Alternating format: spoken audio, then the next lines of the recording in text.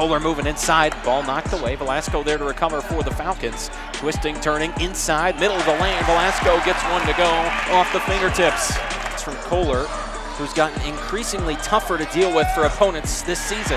The pass down low finds Novoroski. Just reached a thousand point career mark.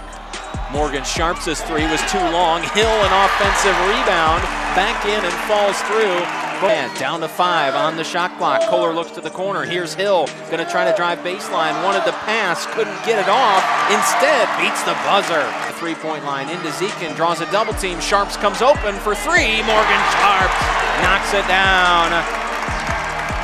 That's three times during that stretch. Emily Cecil comes away with a steal, but gave it right away back into the hands of Quinesha Lockett. Off the Sharps, little handoff pass there. Morgan comes open, left elbow jumper. Sharps knocks it down, and good to see her hit one there to start this second half. That they have. Sharps comes open, long two here, dies off the back of the rim. Sharps wanted the foul. There was some heavy contact with the hand, but Sharps gets the bucket nonetheless.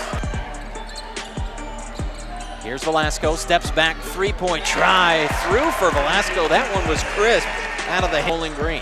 Now here's Velasco up the right side, the handoff to Morgan Sharps for three. Locked in is Morgan Sharps. Side gives off to Velasco, five on the shot clock. Velasco looking inside, spins around, Cook off the glass. And how about some of the shots that Amy Velasco has hit today?